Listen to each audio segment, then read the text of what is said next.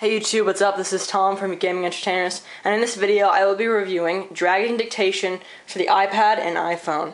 So if you have an iPhone, you can also get this application, and basically it's a speech-to-text application. So basically you speak something and it translates it straight to text, and you can send it off to different locations. And well, the reason I'm reviewing this is because it works really, really well. So let's try one out. And I may have to move so that I can get closer to the microphone. So let's talk. This is a test of Dragon Dictation. Let's see what he gets. This is a test of Dragon Dictation. Got it correctly. So let's do something a little harder. Um, let me think. Um, I'm just gonna do a really an, another one I've already done. I really love Mac OS 10. That's kind of fanboyish, wasn't it? Whatever. I really love Mac OS 10 and I got the X. So it works very well.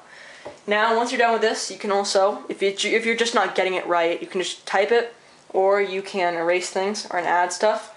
And once you're done, you can also send it off. Let's get a note like this one I did earlier.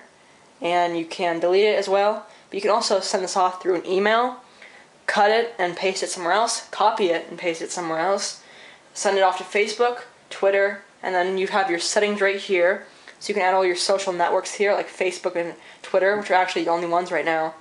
But yeah, and you can detect all kinds of things, um, language, recognize names, build version 2.0, so it's the newest one. And it works pretty well. It's a pretty simple app, so this is going to be a quick video. But I just felt like showing you this because it's pretty cool. And here are some tips. It's very convenient for good accuracy. It shows you all these tips, like where the microphone is and how to speak clearly so, pretty cool application.